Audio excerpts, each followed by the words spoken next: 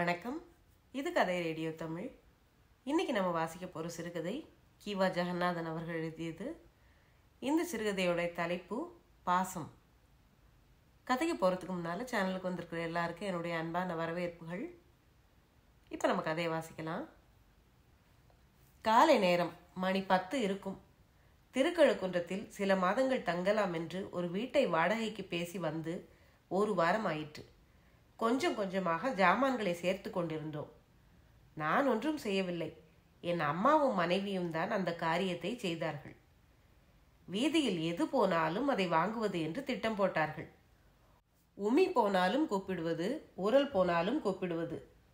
பேரம் பேசுவதும் ஊர் விவகாரம் பேசுவதும் பழைய வியாபார கதைகளை பேசுவதுமாக இந்த வியாபாரம் நடக்கும். நான் அவர்களிடையே நடைபெறும் சம்பாஷணையை கவனித்துக் கொண்டு வந்தேன். காசு கொடுத்து வாங்கும் பத்திரிகைகளில் கிடைக்காத பல உள்ளூர் செய்திகளும் குடும்ப சிக்கல்களும் வாழ்க்கை தத்துவங்களும் பண்டங்களை விற்க வருகிறவர்கள் எல்லோரும் ஒரே மாதிரியாகவா இருக்கிறார்கள்? ஒருத்தி படபடவென்று பேசுவாள். மற்றொருத்தி நிதானமாக பேசுவாள். துடைப்பம் விற்க வருகிறவள் யானையை விற்பது போல ஜம்பமாக பேசுவாள்.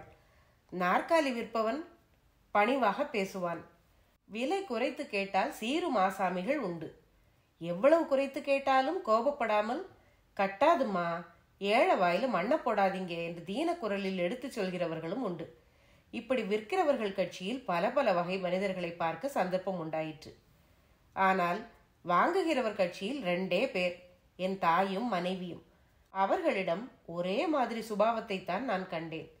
கூடைக்காரி ஒரு விலை சொன்னால் உடனே குறைத்து கேட்பது பட்டணத்துல கூட இந்த கிராக்கி இல்லை என்று பொய்யும் கற்பனையும் கலந்து பேசுவது. இப்படியாக ஒரே ரீதியில் எங்கள் வீட்டில் உள்ளவர்களின் போக்கு இருந்தது. ஒரு நாளைக்கு குறைந்தது இரண்டு மூன்று வியாபாரமாவது நடக்கும்.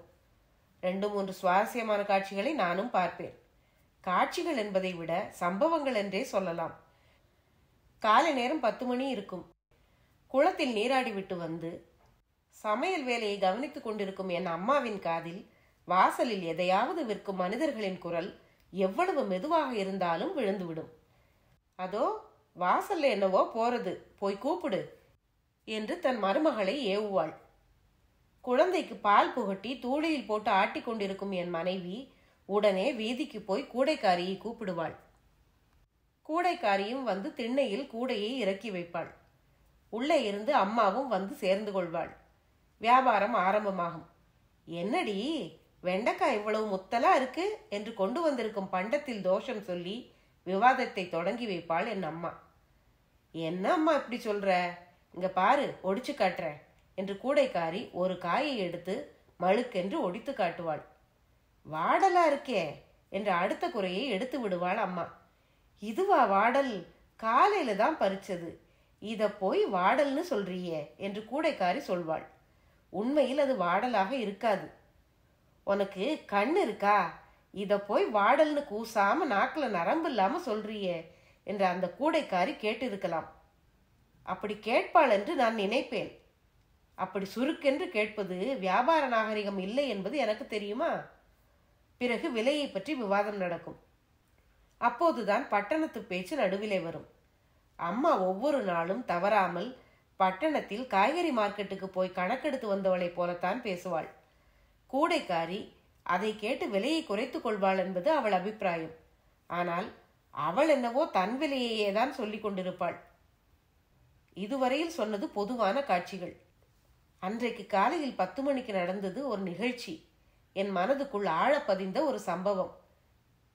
அந்த சம்பவம் நடந்தது நடந்தபடியே என் மனக்கண் முன் நிற்கிறது. காயோ கறியோ தயிரோ காலையிலேயே வந்துவிடும்.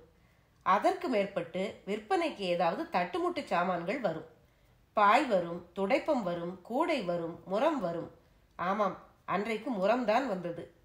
கையில் இரண்டு முரங்களை எடுத்துக்கொண்டு ஒருத்தி எங்கள் வீட்டு வாசலுக்கு வந்து அங்கே நின்று கொண்டிருந்த என் தாயிடம் முரம் வேணுமா? என்று கேட்டாள். அம்மா ஏதோ ஞாபகமாக இருந்தாள். இல்லாவிட்டால் அவளே ஏ முறம் என்று கூப்பிட்டிருப்பாள். ஆமா வேணும் ஆனா நீ ஆன விலை குதிரை விலை இல்லையா சொல்லுவ? என்று அவளுக்கு வரவேற்பும் கண்டனமும் சேர்த்து வெளியிட்டாள் அம்மா. முரக்காரி திண்ணையில் முரம் இரண்டையும் வைத்தாள். உளுத்த மூங்கிலா பார்த்து பொறுக்கி வாங்கி இந்த முரத்தை முடஞ்சியாக்கும்? இது அம்மாவின் கேள்வி. இதற்குள் உள்ளே குழந்தையை தூங்க பண்ணி கொண்டிருந்த என் மனைவியும் வந்துவிட்டாள் பேரம் பேசும் தந்திரங்களை அவள் இப்போதுதான் தன் மாமியாரிடமிருந்து கற்றுக்கொண்டு வருகிறாள். பள்ளிக்கூடத்துக்கு போகாவிட்டால் பாடம் வீணாக போய்விடுமே என்று கவலைப்படும் மாணாக்கனை போல ஒரு வியாபாரத்தை தான் கவனிக்காவிட்டால் அந்த வியாபார அனுபவம் இல்லாமல் போய்விடுமே என்று அவள் நினைத்திருக்கலாம். அவள் வந்து விட்டாள் உளுத்த மூங்கில் மாதிரி தான் இருக்கிறது என்று வந்த உடனே என் தாயின் அபிப்பிராயத்தை ஆமோதித்தாள் அவள். என்ன அம்மா விஷயம் தெரியாம பேசுறீங்க? பச்சை மூங்கில பிளந்து பண்ணியிருக்கு. காஞ்ச மூங்கில மடக்கி முடைய முடியுமாம்மா பச்சை மூங்கில்னு இதை பார்க்கும்போது உங்களுக்கு தெரியலையா? என்று முறக்காரி சொன்னாள். அவள் பேச்சு ஆணித்தரமாக இருந்தது. நான் அதை ரசித்தேன். அது காய்ந்த மூங்கிலே அல்ல. அப்படி இருக்க எப்படி உளுத்த மூங்கிலாக இருக்க முடியும்? இவர்கள் வாயை அடைக்க சரியான வெடிகுண்டு போட்டாள் அவள். இதுவும் வெண்டைக்காய் பேரமா என்ன? நான் மனதுக்குள் சிரித்து கொண்டேன். சரி சரி. நாங்க முறம் கட்டுற போது அந்த விவரத்தை எல்லாம் தெரிஞ்சுக்கிறோம். இப்போதைக்கு இந்த முறத்தை வாங்கிக்கிறோம். விலையை சொல்லு என்று ரோஷத்தோடு அம்மா பேசினாள். ஒரே விலை ரெண்டு முறமும் முக்கா ரூபா. முக்கா ரூபாயா? அம்மா ஆச்சரியப்படுபவளைப் போல வாயை பிளந்தாள். பன்னிரண்டு அணாவா? என்று என் மனைவி ரூபாயை அணாவாக மாற்றி ஆச்சரியப்பட்டாள். இதே திருவிழா காலமானா ரெண்டு ரெண்டரை வரைக்கும் விற்குமாக்கும் என்றாள் முறக்காரி நீ பத்து ரூபாய்க்கும் விற்கலாம் ஆனா முறம் மாத்திரம் மூங்கிலா இருக்கக்கூடாது. வெங்கலமா இருக்கணும் என்று சொல்லி புன்முறுவல் பூத்தாள் என் அம்மா. வெங்கல முறமா அது எதுக்கு உதவும்மா? இந்த முறம் தானே கண்ணுக்கு அழகு காரியத்துக்கு எழுசு விலையும் குறைவு. அட இவளுக்கும் விளம்பர கலையில பயிற்சி இருக்கே என்று நான் ஆச்சரியப்பட்டேன். சரி சரி விலைய சொல்லு என்றாள் அம்மா. அதான் சொன்னேனம்மா ரெண்டு முக்கா ரூபா. அதுக்கு குறைவில்லை. வேணும்னா வாங்கிக்கோ. இல்லைன்னா கடை வீதிக்கு போய் வித்துட்டு வரேன். மகராசியா போயிட்டு வா. முக்காருவா கொடுத்து வாங்குற மகாராஜ அங்க நீ வரலன்னு காத்துட்டு இருப்பான். போய் வித்துட்டு வா. சரி உங்களுக்கு வேண்டாமா? வேணும். ஆனா நீ சொல்ற விலைக்கு வேண்டாம். என்னதான் விலை கொடுப்பீங்க? எட்டு அணாவுக்கு மேல ஒரு தம்பிடியும் கொடுக்க மாட்டேன். அநேகமாக வருகிறவர் சொல்லும் விலையில் பாதிக்கு கேட்பது அம்மாவின் வழக்கம்.